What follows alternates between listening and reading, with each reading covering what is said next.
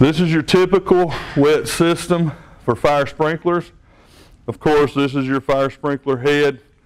On a wet system, there's water always available uh, on the system from the riser. This is called a riser, your system riser.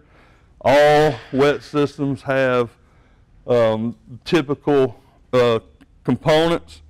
You have your butterfly valve or your control valve. It's an indicating valve to where when you instantly look at this valve, you can see that it is open by this flag here. If it was turned over to the side, then it would be closed. If you look at it and it's up and down, it's open. You have gauges. Your system gauge is your top gauge, which that's how much pressure is on the system.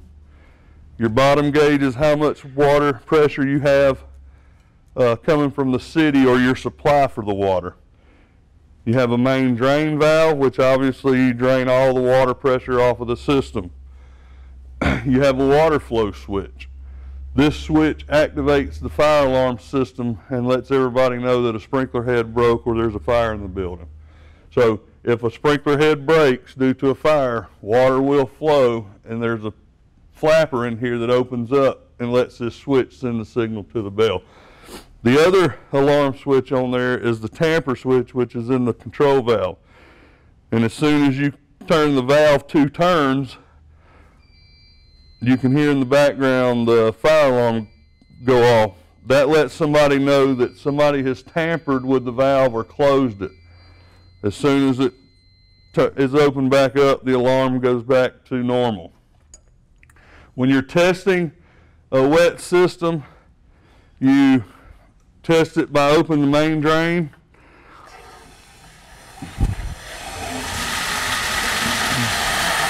And you start letting water flow and you watch your gauges to see how far the water pressure drops while you're flowing the water.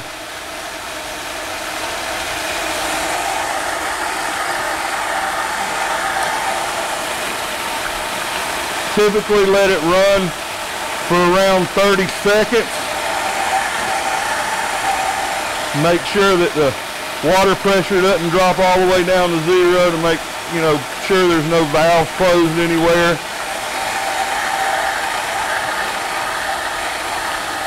Remember when you're shutting down anything on a sprinkler system, you don't you don't just slam the valve closed, you actually have to ease the valve closed or water will hammer against it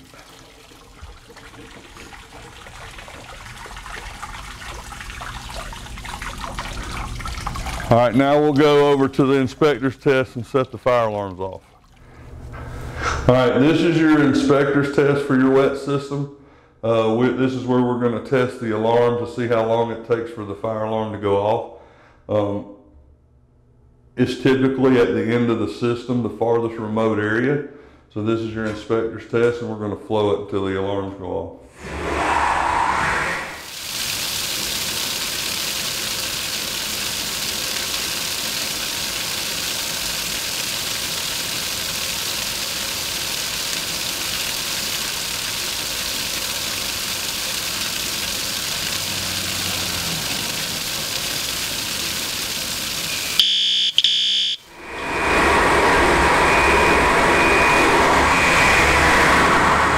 The alarms are going off, again, easily close the valve.